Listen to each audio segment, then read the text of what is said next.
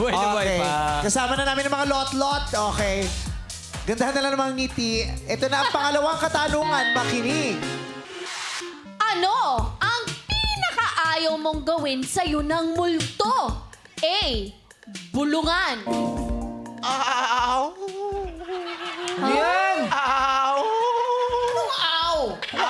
Ba? Siguro kung yan ang multo, si bubulong ka, baka matampal mo. Kasi, ay, wag ka dito, sa Ayusin iba. mo, ayusin mo. Ganyan ba ang bulong? Bulong, di ba mahina lang? Korean kasi yung multo.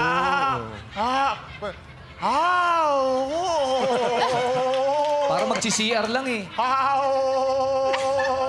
Sure ka multo ka?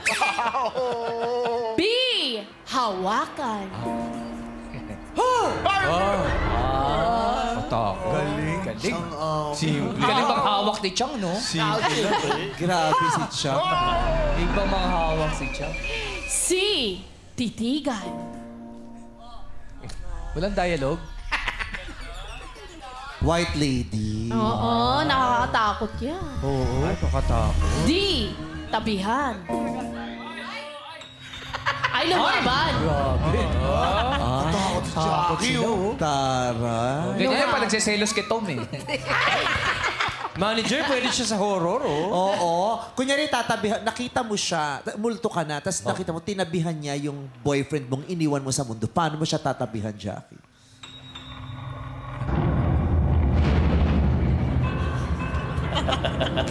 Takot, oh. Nakatakot si Jackie. Tapang ni Jackie, no? Iba, iba yung mga babae sa antipolo talaga. O, ayan. Unahin natin ito si ano, si Argus. Naniniwala ba kayo sa multo? Ay, hin- hindi po. Ikaw, Hindi ho, fake news lang yan. Fake news? Hi! sa palagay mo, sinong nagpapalaganap ng fake news? Ay, siyempre ho, mga magulang natin para lang ho sumunod kasi kanila. Sabi niyo, true din naman yan. May mga fake news din naman yung mga pep. Tara, sumunod talaga. May bias, alam mo ba yung multo? Oo. Ano lang po yun? Ah, costume lang po yun. Costume lang? Costume? Hindi totoo. Ikaw, Imogen, do you believe in ghosts? hindi po. Hindi ka rin naniniwala. Bakit? Kasi po, hindi ko po siya makikita eh, kaya lang fake news din po yun eh. Fake, Fake news din news talaga. Pero di ba minsan napapanood natin sa palabas may mga multo? Oho. Tapos di ba nakakatakot Kasi pag ho sa napapanood movie ho, meron nung lumalabas sa TV, pero ho, pasikat lang nila yun para sumunod. Sikat lang.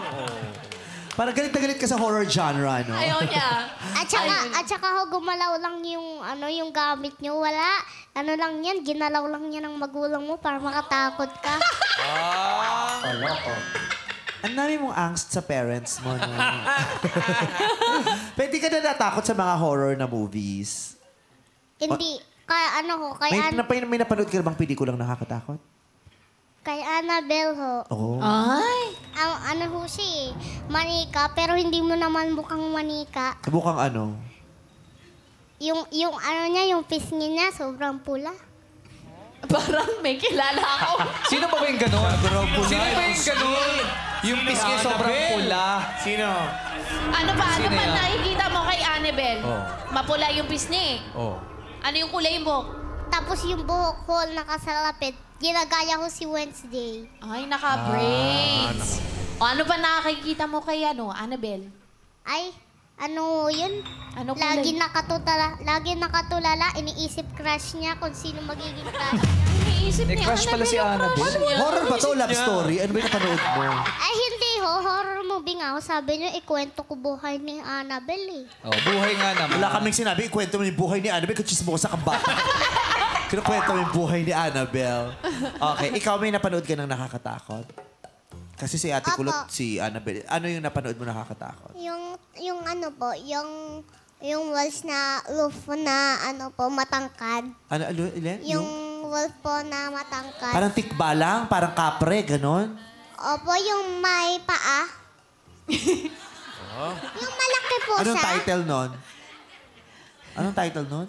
Slenderman? Ble- Blenderman, Blenderman. Gumagawa siya ng mango shake. ano nangyayari? Anong ginagawa nung mama malaki yung paa?